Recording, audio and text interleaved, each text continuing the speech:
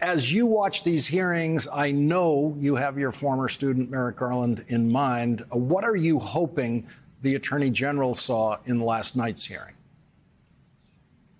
Well, I believe he saw the culmination of an extraordinary presentation in which there is no conclusion possible other than the one that the very impressive law firm of Barry Berke and Neil Katyal um, present, present, presented on your show just a few minutes ago, namely that the President of the United States deliberately decided that he was going to seize and retain power no matter what. He exhausted all possibilities in terms of going to court. That was fine. But when that didn't work, he developed phony electoral certificates.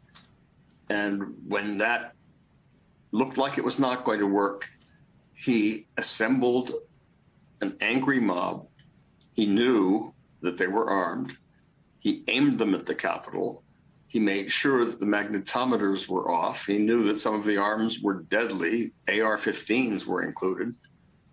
And then, as Merrick Garland undoubtedly watched last night's hearing, we saw the 187 minutes pass, in which, as you said, Lawrence, quite powerfully, Merrick watched the commander in chief, not of the United States, but the commander in chief of an armed insurrectionary mob aimed at the Capitol.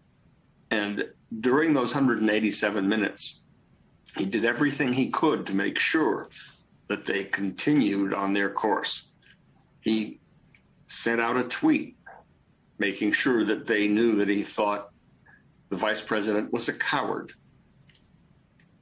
it was clear that the mob was doing exactly what he wanted. And what I am hoping that Merrick Garland will do is recognize that just as he told the American people in a press conference a couple of days ago, nothing could be more dangerous to the country than not to hold accountable someone who commits the high crime, the serious federal felony of attempting to overturn a democratic election.